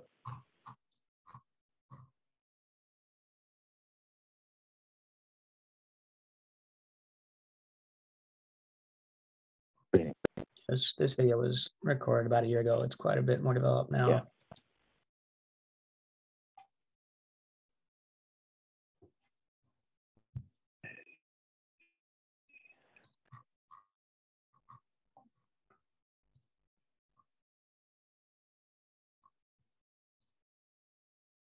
All right. Well, I think we've uh, I think we've uh, wound down wound down enough. Why don't we call it call it an afternoon?